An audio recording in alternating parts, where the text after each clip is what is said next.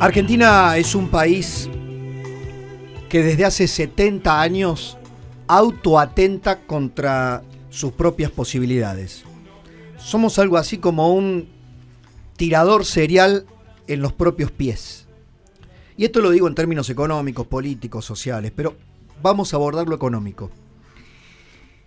Eh, yo le decía la semana pasada, provocado, provocativamente, lo que charlaba con un amigo que, me suele dar sus perspectivas económicas sobre la Argentina desde un conocimiento muy, muy profuso de cómo funcionan las economías del mundo, porque vive hace 20 años afuera, trabaja en una multinacional, habla cuatro o cinco idiomas. Entonces, esa perspectiva global permanentemente me acicatea para ver dónde estamos parados nosotros. Y es una cosa increíble cómo ya no los dirigentes políticos de la Argentina, sino todos nosotros, de alguna manera, nos estamos convirtiendo en la rana que se hierve en agua, que, digamos, que comienza a adormecerse en la olla de agua tibia hasta que no se da cuenta que la hierven. ¿no? Entonces, eso somos. Yo le hablaba del cuasi comunismo económico que tenemos. Eh, pero ¿cómo? ¿Cómo? Sí, sí, sí, sí un Estado imposible, un Estado que lo quiere regular todo, donde miremos la economía está hiperregulada. Tanto es así que en, un, en una nota de Infobae, Aldo Abraham, el economista Aldo Abraham, que colaboraba con nosotros el viernes justamente, dice, hay más de 67 mil regulaciones absurdas. Escuche este número. Este director de la Fundación Libertad y Progreso, 67 mil regulaciones absurdas que vuelven más ineficientes a los que trabajan y producen. Con todo respeto, yo no creo, como dicen algunos, incluso algunos análisis económicos y políticos de los más importantes de este país, que si mañana nos, nos llegaran los dólares de la importación, la Argentina podría exportar. Mentira. Cuando gobernaba Macri no había restricción para acceder a los dólares y las exportaciones subían muy poquito. ¿Por qué las exportaciones no suben en la Argentina? Porque somos ineficientes, por nuestro costo, porque estamos llenos de regulaciones derivadas de todas las corporaciones que medran como parásitos de un Estado que nos asfixia. Pero es el Estado que se tira un tiro en los pies, porque a la larga termina siendo ineficiente hasta la propia posibilidad de ser un Estado populista, como lo han querido aquellos que lo han engordado. Mire, le voy a contar una historia breve. En 2014 asumió en Australia Anthony Abbott como primer ministro. ¿Saben lo primero que hizo? Inauguró el Día de la Derogación.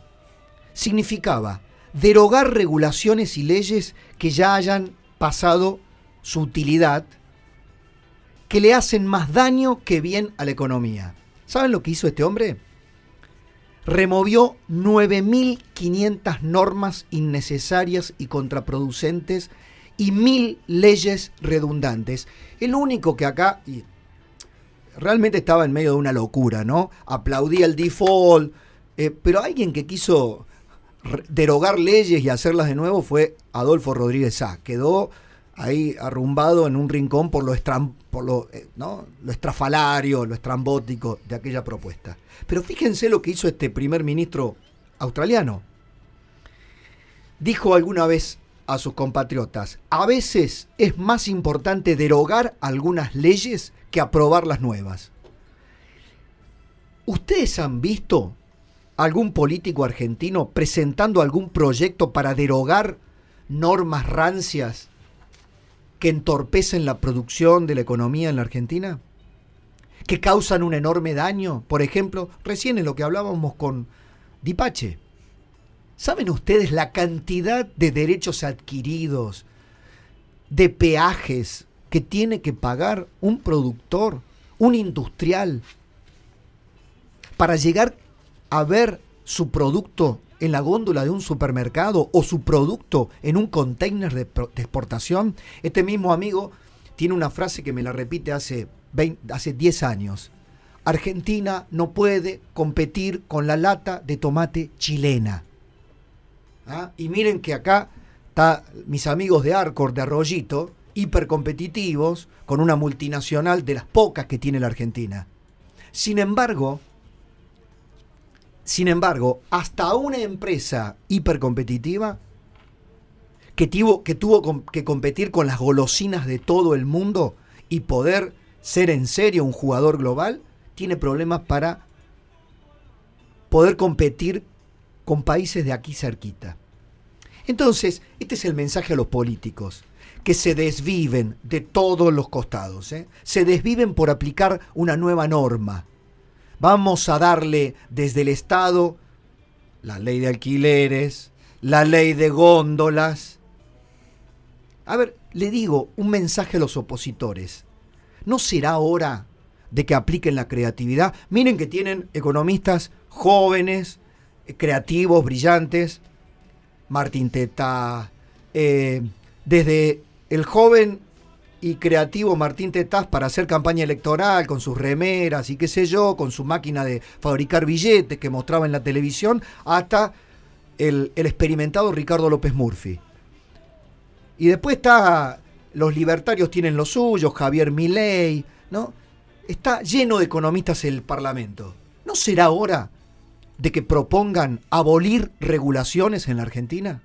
A ver, hagamos un debate público de cuáles son nuestras trabas, a dónde están los cepos, a dónde están los derechos adquiridos, a dónde está la viveza criolla, a dónde está la ganancia de la máquina de impedir en nuestro país. Si algún político llega a hacer esto, en serio, ¿no? Con todo respeto, Milei, Javier, regalar tu sueldo está bien, genera impacto, una cantidad de adhesiones, es, es provocador, pero a mí me encantaría, desde su conocimiento de la economía, que presente un proyecto de esta característica. Deroguemos 10.000 regulaciones que hoy hacen que nuestros productos sean imposibles de colocar en el resto del mundo. ¿Usted escucha ese debate? No, no lo escucha.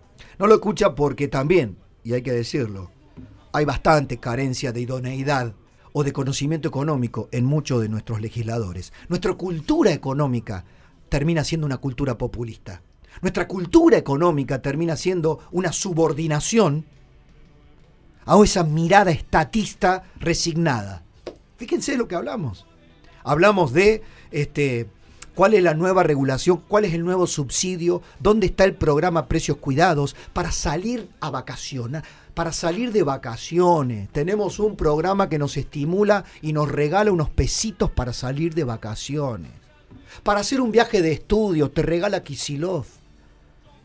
Es el estado que se mete en tu vida cuando salir de vacaciones, que tus chicos vayan al viaje de estudios, comprar el producto que quieras en la góndola donde se te ocurra, tiene que ser un trato entre privados, donde el Estado no tiene nada, nada que hacer. Pero no solo por una cuestión de principio o porque a mí me guste más la libertad que el estatismo, es porque no sabe además. Porque está demostrado que hay cosas que el Estado no sabe hacer ni sabrá hacer. Y más un Estado como el nuestro. Por lo tanto, deberíamos ir pensando en pasar a cuarteles de invierno, a tantos cráneos que desde el Parlamento te proponen crear nuevas leyes o más regulaciones.